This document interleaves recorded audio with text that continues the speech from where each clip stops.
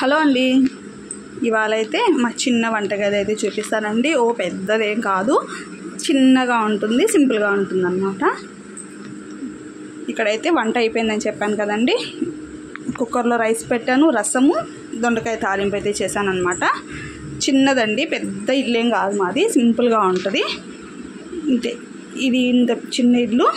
ఇక్కడ వచ్చేటప్పటికి ఈ గోడ అడ్డం అనమాట ఇటు వంటగది వస్తుంది. ఇటువైపు అప్పుడు మగ్గం ఉన్నిందనమాట ఇటు సైడు వంటగది అయితే పెట్టేసుకున్నాను. ఇది గ్యాస్ బండ. ఇటు సైడు ఇక్కడ ఎర్రగడ్డలు తెల్లగడ్డలు ఇటు సైడ్ పెట్టుకుంటాను. ఇక్కడ ఏమైనా మిరియాలు జీలకర్ర ఇలాంటివన్నీ పెట్టుకుంటాను. ఇటు సైడ్ నూనె పెట్టేసుకుంటానండి. ఇక్కడ కాఫీ పొడి బ్రూ అలాంటివి. ఇది ఉప్పు ఇది సాల్ట్ ఇది పప్పుల డబ్బా. ఇక ఏమైనా కావాల్సినటువన్నీ కూడా ఇట్లా అర్మాన్లో పైన అయితే పెట్టేసుకుంటాను. ఇక్కడ కింద వచ్చేసి పాలు ఒకటి కొంచెం అన్నం అయితే ఉంది అది. గెంటులు అయితే దీంతో వేసేసుకుంటాను.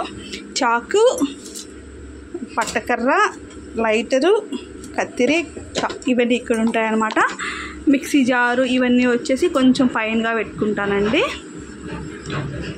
ఇది వచ్చేటప్పటికి నిన్నైతే మిరపకాయలన్నీ కూడా ఒలిచిపెట్టామన్నమాట. తొడియాలు తీసి పెట్టాము ఆడిద్దాము అనేసి నిన్నటి నుంచి అయితే వర్షం పడుతుంది. ఇంకా ఎందుకులే ఇంకొకసారి ఎండగాసినప్పుడు ఇంకొంచెం ఎండలో పెట్టేసేసి ఆడిద్దామనేసి పక్కన పెట్టేశాము.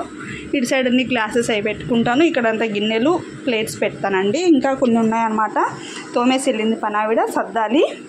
దాంతో వచ్చి కుక్కర్లు మీద దబర్లు పెద్ద గిన్నెలు అన్నీ ఉంటే ఆ టబ్కి వేసుకుంటాను. ప్లేస్ తక్కువ ఉంది కాబట్టి.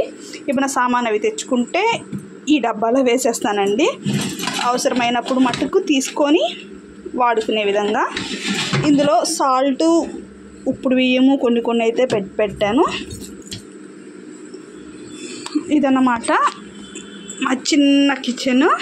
మాకు ఇక్కడ షింక్ అలాంటివి కూడా పెద్దగా వాటర్కి పెద్ద ట్యాంకీ అలాంటివి ఏమీ లేవు. పక్కనే షింక్ ఉంటుందన్నమాట. షింక్లో వేసేసుకొని గిన్నెలన్నీ బయట వేసేస్తాను అనమాట కాసేపు నుంచి భోజనం అయిపోగానే గిన్నెలన్నీ తీసి బయట వేసేస్తాను పనామొచ్చి అయితే తోమేస్తుంది.